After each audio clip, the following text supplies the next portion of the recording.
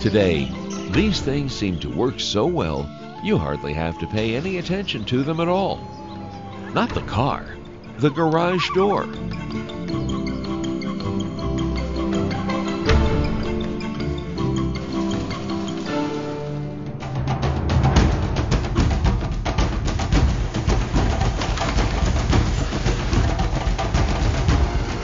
But doors, like all mechanical operating things in your home, need to be maintained every now and then. There's a lot of moving, sliding, and stretching parts here working in symphony with tight tolerances, high tensions, and electricity. They need occasional tweaking and maintenance. Or else. Or else what? The door won't open? So what? We count on things to run smoothly. And we count on our vehicles, we count on our appliances, we count on our heating and air conditioning, and we count on our garage door system. If it doesn't work and your car is stuck inside, then you can't make an appointment, you can't make work, you can't get the kids to school, and it's an emergency. In those rare situations where you're unable to get the garage door to work electrically, there's always a way to release the door and operate it by hand. Usually you'll have a release cord hanging down from your system. You simply give a little tug to this cord, which releases it, let go of the cord, and then operate the door by hand using your handles. The stored energy in the spring counterbalance system, combined with the weight of the garage door, will be very unforgiving if not approached with the proper tools and knowledge. One thing that we do see frequently is when a homeowner does try to work on these springs on their own, uh, they do get injured, and we know it because the blood trail starts here and then trickles its way on into the house.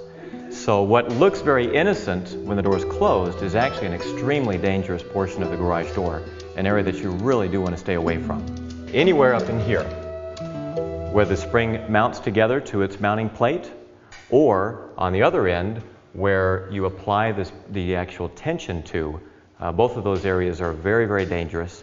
And what we do to try to inform you about this is to provide these caution tags or warning tags to let you know, stay clear, it'll hurt.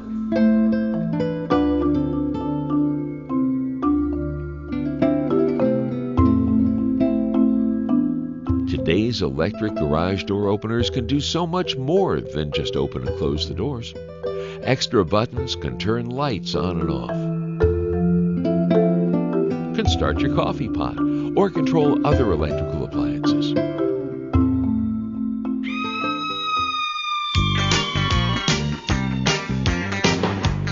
Children need to be taught to keep their fingers out of section joints and their hands away from the door. They need to, to know not to play under an open garage door or near one. Also, that the transmitters in the car and the control buttons on the wall are not to be played with or to be touched. In general, what you want to teach your children is the garage door system is not a toy.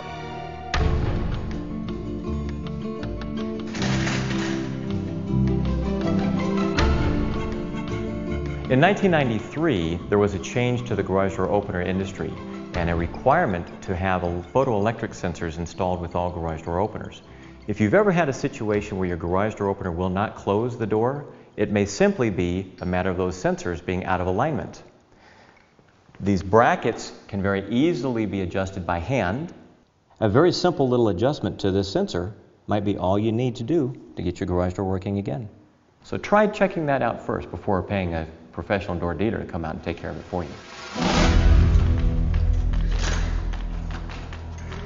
Another little tip for uh, your garage door opener is the manufacturers provide for up to 100 watts of lighting capacity. Why not put in a 40 to 60 watt appliance grade light bulb? Will save a little energy and it'll light up the garage just as well. But for those of you who have the older type garage door where the springs stretch either vertically on the sides or horizontally on the sides, uh, a very important thing to have is a re safety retention cable within the coils of the spring. When these springs break, and they will, a lot of damage can occur. We've seen them embedded in the front walls of your house. We've seen them pushed up into the uh, attics of your garage. We've even seen a lot of damage to your cars. So a very important thing to have a professional door dealer come out and take care of is to make sure that these safety retention cables are in place and properly installed.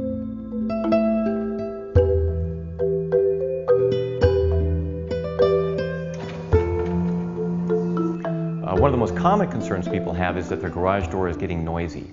And some of this stuff you can take care of very easily yourself.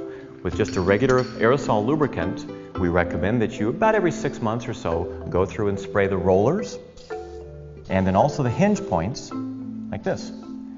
That in itself can reduce a lot of the noise that, that will develop, and it's something that you can very easily do yourself.